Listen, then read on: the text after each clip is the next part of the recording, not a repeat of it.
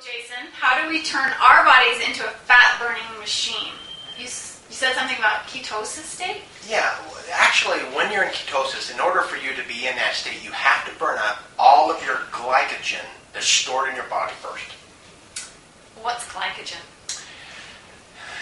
Well, I remember not to keep this, make this a scientific class. Okay? you. And so, glycogen simply is just the results of what you get. It's a whole bunch of glucose that's got together into one big bunch and it's stored in your liver. Okay?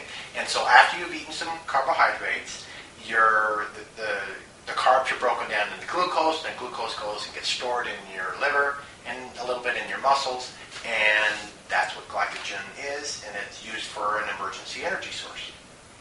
Wow. Okay, so uh, it sounds to me like the body is trying to do get the most out of it with the least amount of work. Well, the body is very, very intelligent. It has the ability uh, of knowing what's available in your body, how much glycogen there is, how much fat there is, how much protein, the food that's in your stomach, and it's definitely going to burn the energy that it can get to the fastest. And for example, the body has a priority of its energy source. It has carbohydrates with sugar being at the top of that list first. Then you have proteins, and then you have fat last. And then if you're trying to lose weight, that's the one that you want to get rid of first, but it's last on the list. So if there's something that's easier to burn, uh, low-hanging fruit, so to speak, it's going to burn that first. So glycogen is the low hanging fruit, right? Exactly. So as long as you have glycogen in your body, stored, waiting there, it is impossible for your body to skip over the glycogen and go and burn fat. Doesn't matter what you do.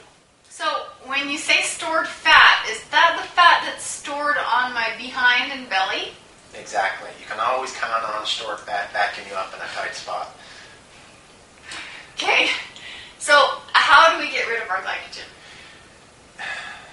You really do want to know all of our secrets. I'm a curious girl. Well, that's and you some- promised. I did promise, and it is one of the major things that sets us apart. And out of the studies, it said that uh, you had to control and get rid of the glycogen. So if you remember, we take when you consume carbohydrates, it's broken down into glucose, and then glucose gets together and is stored in your liver as glycogen. Well, once you've gotten rid of the glycogen, which takes about three, four days when you're in a ketogenic state. So you enter ketosis, three or four days later, that's now when you are in a fat burning mode and you're burning fat like crazy. You're a fat burning machine. Exactly.